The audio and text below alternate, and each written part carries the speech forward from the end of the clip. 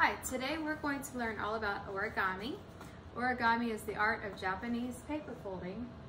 All you'll need is a square of paper. You can buy origami paper like this. It's colorful. It should be a different color or pattern on each side. And if you make your own, then make sure that you take some crayons and color one side of the paper. I would use a dry medium like crayon, not marker, because you don't want to get the paper wet. So something like that, or colored pencil. Origami originated in the country of Japan. And these are all examples of origami.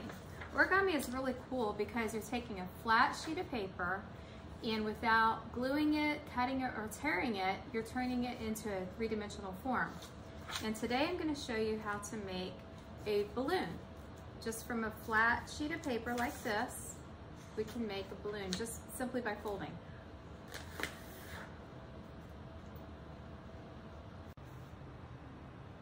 So now we're going to make this origami balloon. I've colored one side of the paper so I can distinguish the front of the paper from the back of the paper. I also will post in my lesson these origami instructions. These will be helpful. I'll kind of show you these. And here we go. We're gonna fold the paper in half and this is called a mountain fold because it's like a mountain or a tent fold. If we turn it this way, that is called a valley fold. Now this is important. When you take this fold and you reverse it, that is called a reverse fold and we'll be doing a lot of reverse folds today. So for right now, I'm just gonna take the paper and fold it down so you can see the pretty side of the paper or whichever side you like best. Then we're gonna fold it in half this way to make a square. And that shows us where the center is. We're trying to take this corner, fold it down into a triangle. Now this paper I cut myself, so it's not gonna be as perfect as this paper, but it's okay. Then I'm gonna open it up, slide my hand in here, and then I'm gonna fold this over and out so that it makes this little triangle.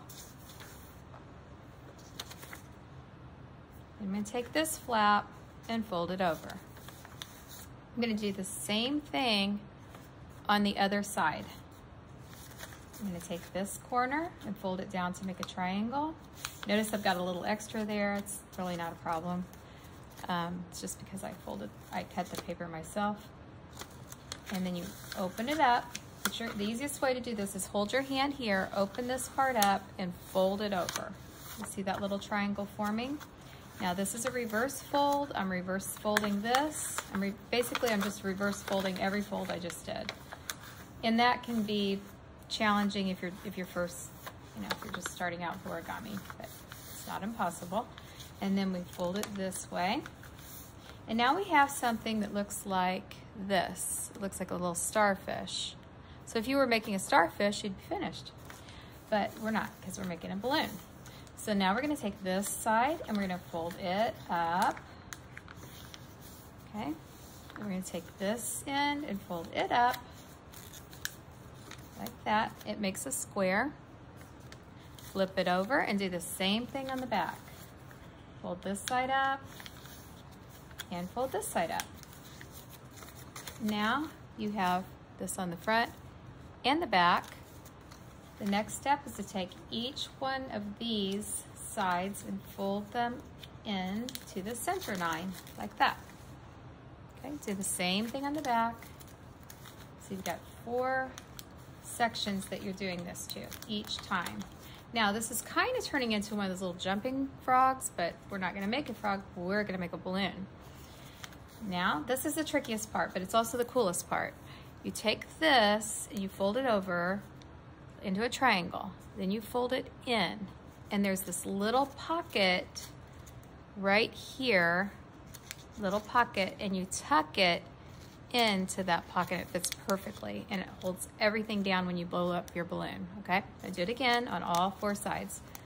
I'm gonna fold it out, then in. It fits perfectly, perfectly geometric. That's what I love about origami. And this is so good for concentrating and relaxing. Do the same thing on the other side.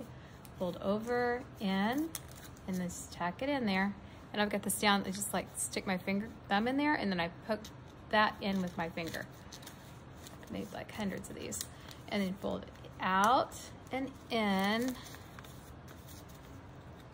And tucky tuck. Okay, so you've done that to all four sides. Now you're ready to blow up the balloon. So here we go. There's this end, which is closed. What you want is this open end with the hole in it. You just take it like this and go.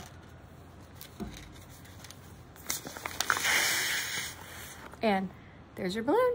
And you can throw it or whatever. It's fun. Okay. Thank you.